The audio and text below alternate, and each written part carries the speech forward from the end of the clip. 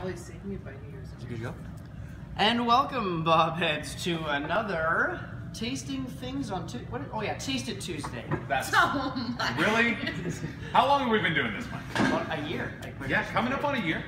Um, we are at Joe Beaver's again. We're getting this, spoiled. this time they're spoiling us. This is really cool. Um, this is something that they're they're toying around with. It is a deep fried Philly cheesesteak sandwich, Like, just the sound of that. which I is know. Combines so many of my favorite It's- things. I think we like we know what the reactions gonna be. Oh, it's going to be fantastic. But we just want to throw this out there because they're still toying around with the idea. I think tomorrow they said it's going to be the lunch special. Yeah. So if you want to try this, come tomorrow and have one. And it's also, I feel like building to just a terrible one. This is like two good ones in a row I know. now.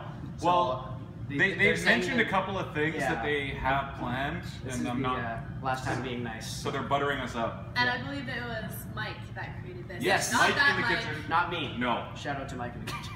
All right. Dip it in the sauce. Yep. This is amazing. Well, You're right about that. Like crust. Mm. You said it's like Kind of like pizza crust. Yeah. This is fantastic. I mean, deep frying things makes them better, always. But this is delicious. This is actually really good.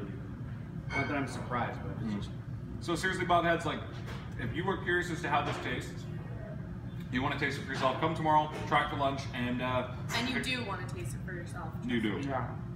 Oh, this is so good. So we're just gonna sit here for like 15 minutes and chow on this. You probably don't want to watch. I don't want to watch. So uh, thanks to Joe Beavers. Um, and again, come try this out.